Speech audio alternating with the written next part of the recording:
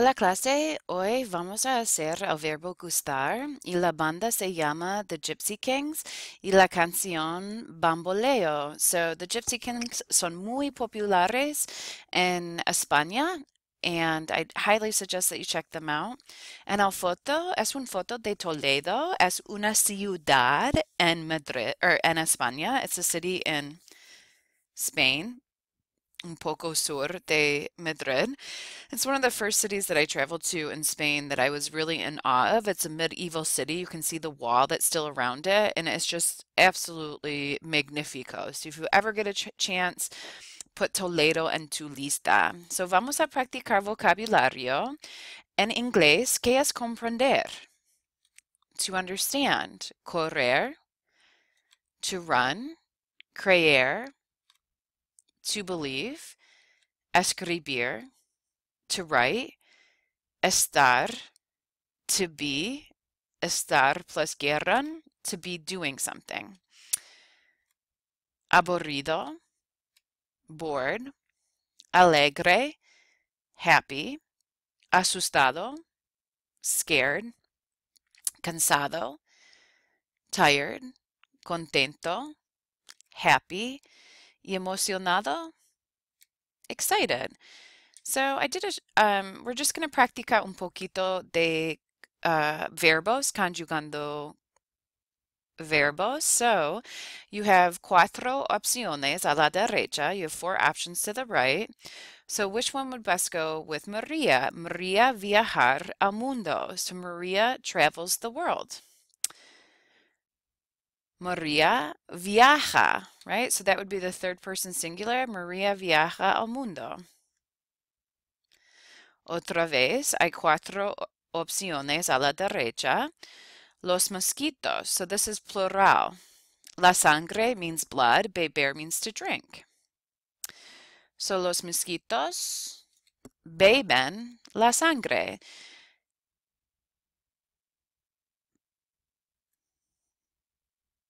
El hombre leer las noticias.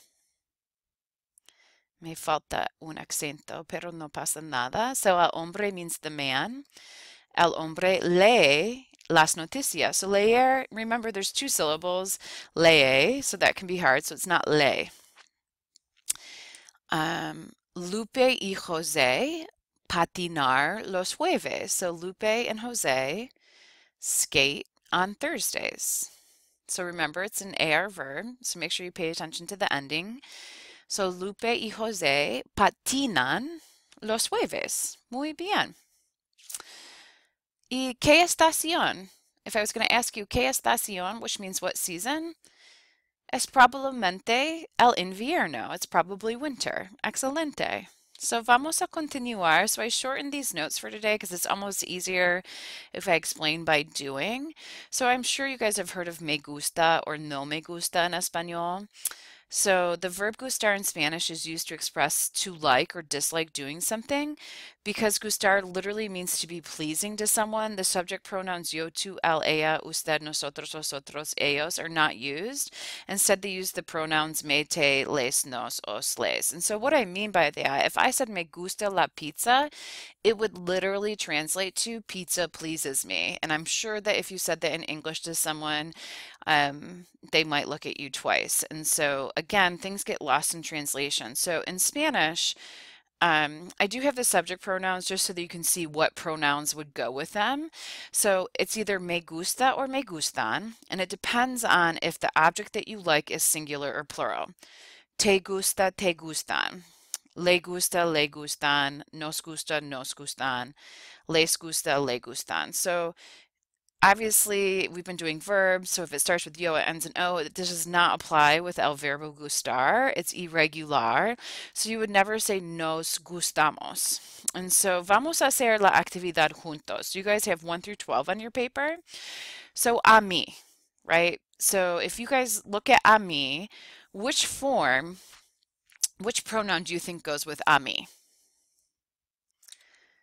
Me, right? So that would be the first part of conjugating gustar. Los tacos. Is tacos singular or plural? If it's singular, you're going to use gusta. If it's plural, you're going to use gustan. So los tacos is plural, so you would use gustan. So the sentence would go, A mí me gustan los tacos picantes. So los tacos picantes means spicy tacos. Picantes means spicy. Número dos. A nosotros gustar los perros. So a nosotros would match up with what pronoun? Nos. Los perros. Is that singular or plural? It's plural. So if you put the whole sentence together, you would say, Nos gustan los perros. We like dogs. Hay cuantos perros en la foto? Hay cuantos perros? Hay uno, dos, tres, cuatro, cinco, seis, siete. Hay siete perros. So número tres, a ella. So which form, which pronoun would go with a ella? Le. Is correr singular or plural? As singular. So you would say a ella le gusta correr. She likes to run. And so again, this is why translators don't always work because it literally translates to running pleases her. So, numero cuatro, a T would go with what pronoun? Te, las alpacas. Is plural, so you would say, a ti te gustan las alpacas. And usually the a ti, I'm only using it so that you can figure out the pronoun, but te gustan las alpacas means um, you like alpacas. ¿Y de dónde vienen las alpacas? Where do alpacas come from? Alpacas vienen de Perú y Ecuador, de los montañas Andes, from the Andes Mountains. So at one point, I really wanted to have an alpaca farm, and I still do, but I'll probably have to wait a while. So if you wanted an authentic alpaca from South America, it can cost you anywhere from 10,000 to $15,000. So obviously, I'm going to have to put that one on hold for a little bit. Okay, so numero cinco. a Lupe y Jose right? So which pronoun would go with a Lupe y Jose? There's dos personas. You have two people. So you'd say les. La pizza, is it singular or is it plural? It's singular. So a Lupe y Jose les gusta la pizza. Numero cinco. Oh, so don't mind. I, there's two in a row that are the same, so hopefully you'll be able to get that one.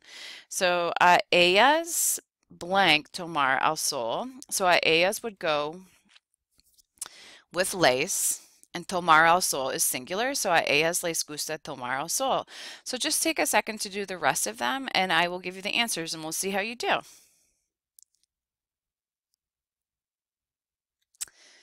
Okay, so we're on numero ocho a mi novio. So don't let this me confuse you, right? So me with an accent mark would apply to this pronoun, but I'm saying my boyfriend. So that would be the pronoun le. So a mi novio no le gustan los gatos. Los gatos is plural, so that's why it's gustan. Número nueve, a Luis le gusta patinar. A ella le gusta tomar agua. She likes to drink water. A nosotros nos gustan las películas. So the reason I have the word underlined after the blank is so that you can pay attention to whether it's singular or plural because that affects the entire sentence.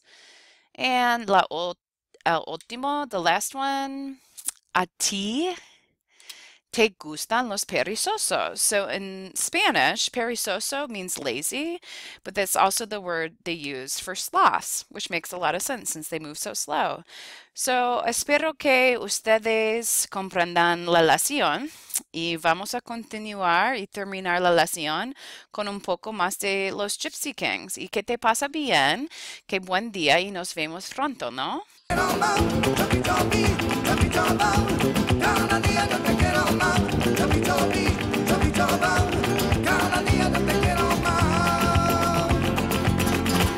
Joby, Jobo, cada día yo te quiero más.